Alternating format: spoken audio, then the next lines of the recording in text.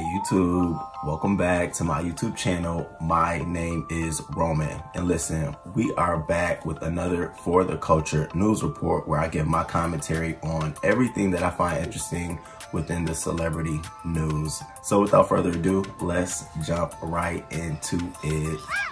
Bam.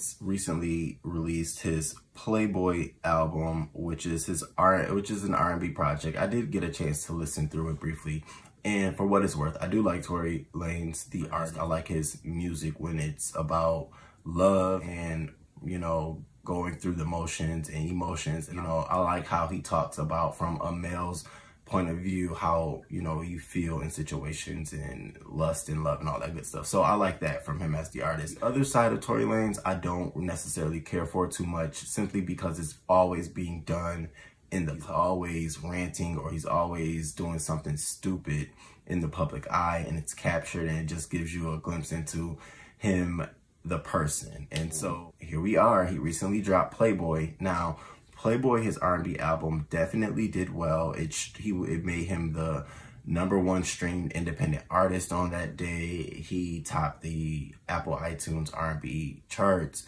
He topped um what else did he top? He topped a number of different charts.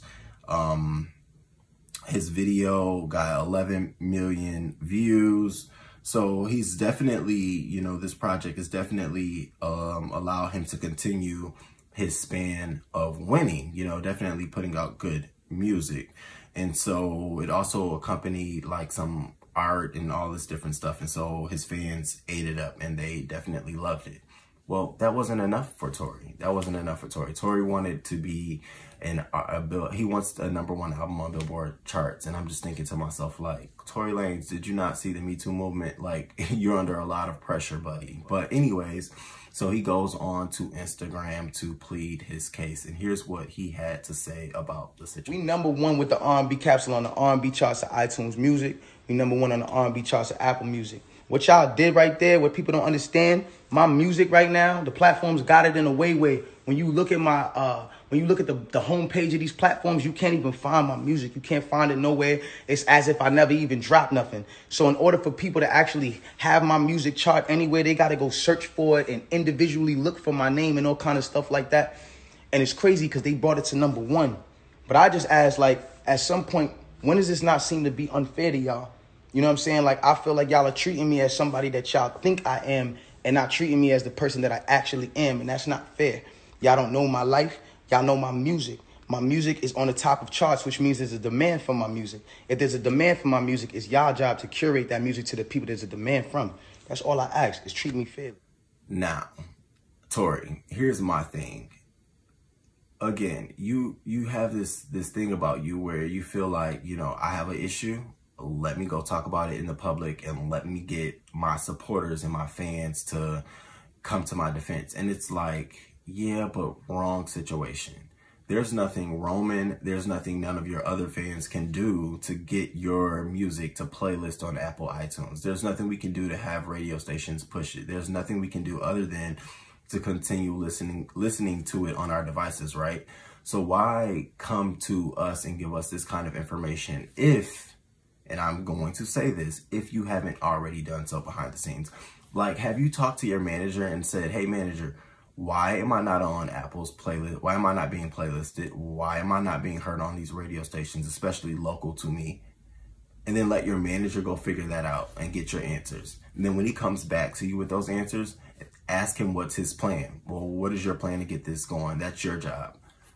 Your job is not to come out here and do their job. Your job is to let them do their job and then make it work. And if it don't, fire their asses and get another one. I know it's hard. I know that sounds bad, but when you make a lot of money, you have to make those kinds of decisions to continue making a lot of money.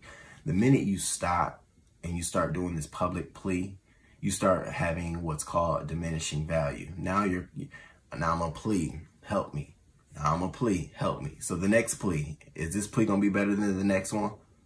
So it's like, there's, you gotta get a strong team around you because some of this stuff should be and could be dealt with behind the scenes. Um, and then there's a there's a nice classy way to talk about it. You know, I always like when people have these kinds of grievances when they put out simple PR messages on their Instagram. Nice clean image JPEG message to my supporters.